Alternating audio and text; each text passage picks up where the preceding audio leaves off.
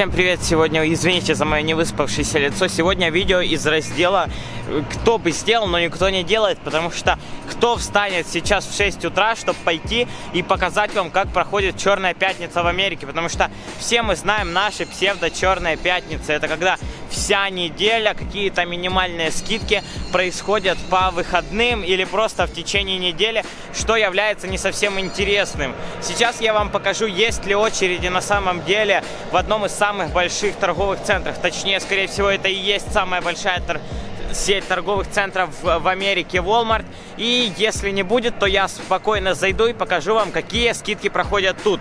Я даже пожертвовал тем, что я обычно видео делаю за день до выкладки, чтобы успеть рассчитать время, если что, реанимировать его.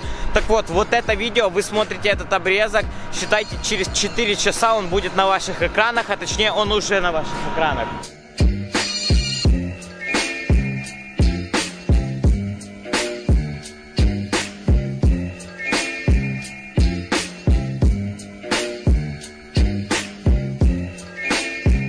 Общем-то, интересно что? Что Walmart сделал сам для себя интересно, то есть у мне сказали, что у них почти все sold out, так же, как и билеты на концертах Тимати, то есть полностью все распродано, и они начали вчера в 6 вечера, по-моему, то есть вчера было видно тут толпа, сейчас нету, просто все распродано. Я хотел вам показать выгодное предложение, например, iPhone 6 за 100 долларов, у нас же таких скидок нету, но я сейчас поеду еще в один, я все-таки решил. И, возможно, там что-то будет, потому что он не работал вчера, значит, сегодня там будет полно товара. Все, пришел я в Таргет. Машин по-прежнему больше, чем обычно, но людей внутри очень мало из-за того, что площадь торговых центров, она, ну, очень мало. Такой площади, ну, у нас нету и просто разбредаются. То есть магазин идет аж туда, вон вдаль, как вы видите. И все, я разочаровался, по сути, потому что Черная Пятница больше не Черная Пятница. Я придумал новое новое название, Зеленый четверг. И на самом деле много людей поприезжали и такие, типа, чё, мы думали, будет драки, как на видео в Ютубе показывают, Черная пятница.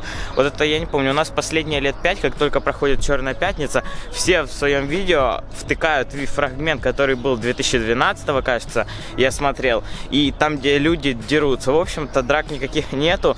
Надо было вчера приезжать в четверг, но кто же знал? Кто же знал, что праздник, который называется Черная пятница, будет проходить в четверг?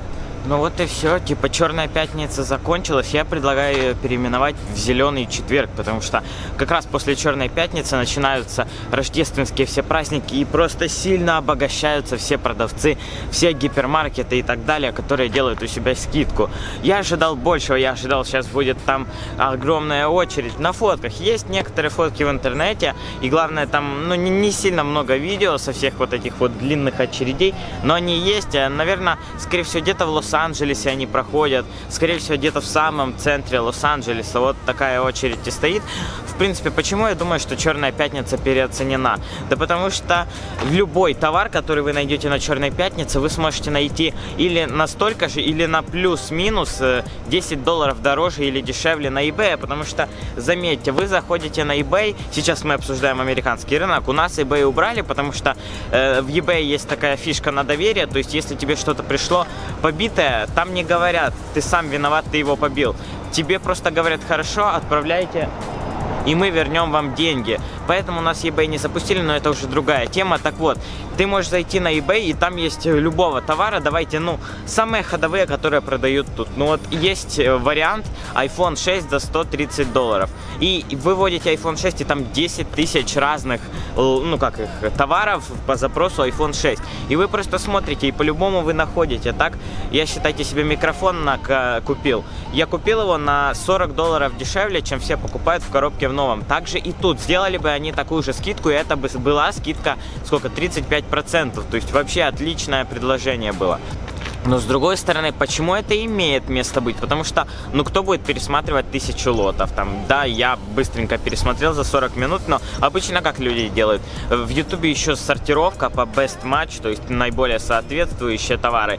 И люди посмотрели 5 товаров, о, зашли на черную пятницу, то есть это самый легкий вариант взять, пойти купить то, что тебе надо было. Там есть телек, на который скидка 450 долларов. Никто не трогает, хотя ого-го скидка. 450 долларов на телек скидка, это прям вообще Samsung, все дела.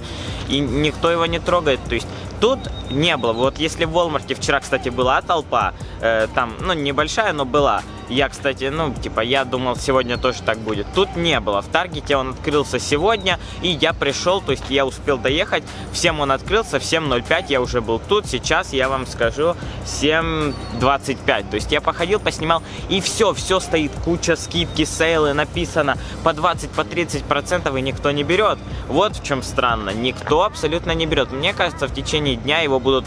Ну, считайте, да, это у нас очень преувеличено, что Черная Пятница там, знаете, когда берут рекламу, сейчас вот перед Черной Пятницей в России, в Украине и странах СНГ она начала популяризироваться, Черная Пятница, всякие разные магазины берут рекламу у блогеров. И каждый блогер, типа, вставляет, вот у нас пока что лучше, чем в Америке, потому что у нас нет таких драк, и все вставляют один и тот же кадр, где люди вылетают на Черную Пятницу. Мне даже кажется, то была не Черная Пятница, то было какие-то рождественские праздники или что-то того.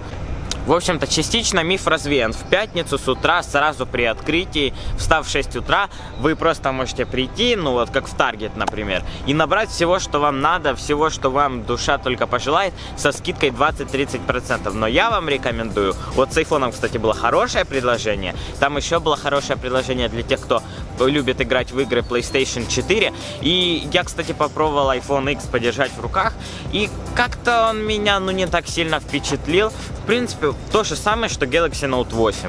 Вот если подумать, я потрогал, и они у меня одинаковые ощущения вызвали. Знаете, обзорщики так навеяли, что это телефон будущего. Такая крутая машина, такая крутая штука. Вы не поверите. А я потрогал, ну, типа, телефон как телефон. Говорили сложное управление жестами. Сразу легко, очень просто, абсолютно. И там, кстати, вот, причем скидка, и никто не берет. Есть на iPhone 8 Plus и на iPhone X. Если на iPhone X ты берешь, что у тебя 200 долларов подарочный сертификат, типа, и на эти 200 долларов ты там чего хочешь, аксессуаров накупай там или добавляйку, что-то покупай, например, Apple Watch. А, и iPhone 8 Plus. И при том, что все iPhone 8 Plus разобрали, и за них еще давали 250 долларов подарочную, подарочный сертификат. А iPhone X нет. Люди просто не спеша, вон, я даже сейчас вижу, выходят такие на вялике смотрят, о, тут прикольно, ага. И знаете, периодически так просто люди выезжают с тележкой, с одним телеком или всякое такое. То есть нет этой паранойи, все, что надо, они могут купить. Да плюс, постоянно на почту приходят скидки. То есть во всех магазинах, в которых вы можете придумать, всегда есть скидки. И на eBay всегда скидки. То есть тут в покупке чего-то там, того, что не узкопрофильное, например, телефон, телевизор, вы найдете столько скидок, что у вас начнет голова кружиться от того, что выбрать, что будет дешевле. И еще один прикол, реклама оружия приходит. Тут же, ну, типа, можно законно иметь у себя винтовку или всякое такое. Реклама оружия по, почту, по почте приходит. Это интересная штука. Ладно, давайте, у меня осталось примерно 2 часа, чтобы доехать, смонтировать и выложить это видео. Я очень надеюсь, я успею. Всем спасибо за просмотр, ставьте лайк, подписывайтесь на канал. С вами был Данил Пай. Я показал реальную Черную Пятницу.